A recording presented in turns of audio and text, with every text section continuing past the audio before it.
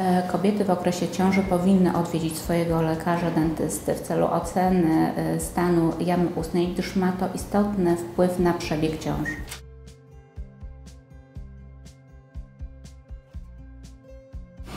O zęby dzieci należy dbać już od momentu pojawienia się pierwszego e, ząbka w buzi. Mm, Do lekarza stomatologa powinniśmy się wybrać e, w odwiedziny z maluchem, e, kiedy nasze dziecko ma około e, rok, pierwszego roku, żeby zobaczyć, czy e, w prawidłowej kolejności ząbki wszystkie pojawiają się w buzi, żeby lekarz również ocenił nawyki higieniczne e, malucha, jak również poinstruował, jak należy dbać e, o pierwsze ząbki dziecka.